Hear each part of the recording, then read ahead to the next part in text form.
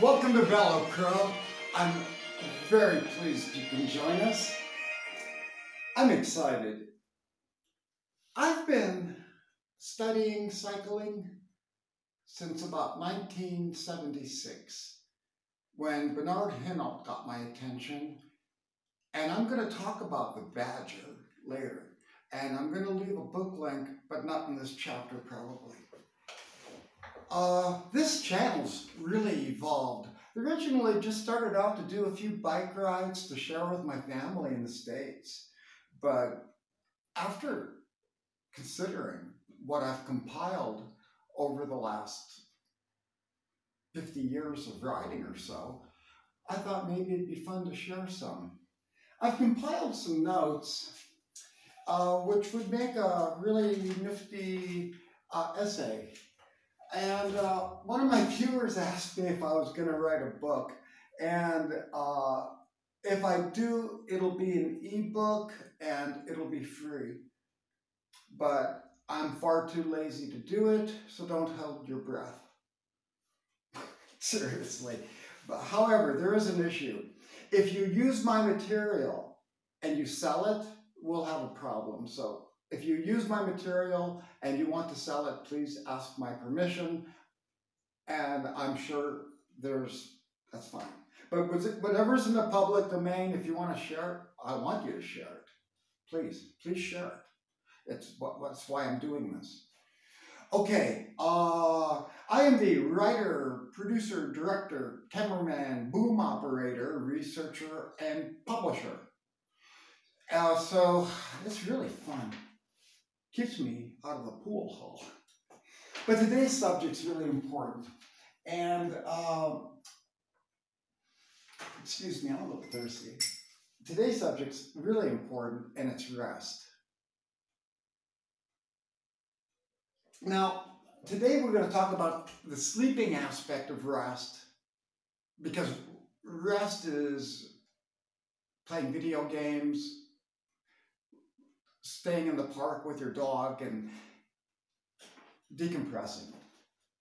But we're not talking about that. We're talking about sleep specifically because I thought about, you know, what are the three things people really do? You know, they, they eat, they reproduce, and they sleep. That's basically our function in life.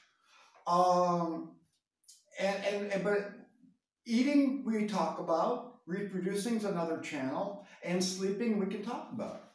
So, so that's good. Uh, anyway, um, number one, mental health. Sleep is directly related to depression and other psychoses and fancy words we're not going to talk about. But sleep is very important for your stability and emotional happiness. Because if you notice, uh, if, if you don't sleep, you become agitated, you react perhaps quicker than you would if you had a nice, a good sleep. And, and, and that's a part of your mental health. And doctors can talk to you about it because it really is a big one. Uh, but we care, we don't care about mental health. Well, we do, but we care about the sports aspect on this channel. We're we're, we're, not, we're not doctors. We're, we're athletes. We're, we want to be athletes. We're tomorrow's athletes. Someone is, one of you guys, definitely. And, and uh, we need to regenerate and heal ourselves, and you can't do it if you're moving. When a mechanic is working on your car, he shuts off the engine. So that's that's God allows your body so many things, which is such, there are books on it, and we don't have time, but we can leave a reference for, for sports benefits, because that's what we're focused on here. But there's one more little thing, and this is related to sports, kind of, and this is a benefit of sleep, and it's called, well, what we call dream time. Now, now dream time is very important because when we're out there pumping away, we're creating uh, and, and, and enhancing uh, our endorphins and serotonin and really jacking up our, chemi- our chemistry through vigorous activity. And in dream time, you know, the Aboriginal, the Aborigines uh, use dream time to make political decisions and, and tribal decisions, sometimes uh, all kinds of decisions. And they, there are books on the subject. And when I was in college, I had an opportunity to read one. Um, okay. Now, as as a, a designer, because uh, you know I, I'm kind of like you know one of the guys that draw parts and we make assemblies from drawings, and I, I would engineer parts together for for my customers, and um, sometimes I would have trouble, and I would use sleep time, my dream time, to think about it at night when I had no other distraction, and I did solve issues, and I have uh, I've proven that it can work. So, what can we do to get more productive sleep and more use out of it? Mom was right. That glass of warm milk and a toasty bread,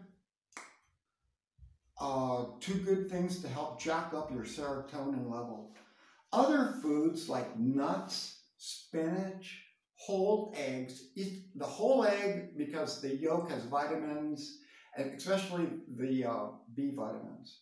So we eat the whole yolk. Um,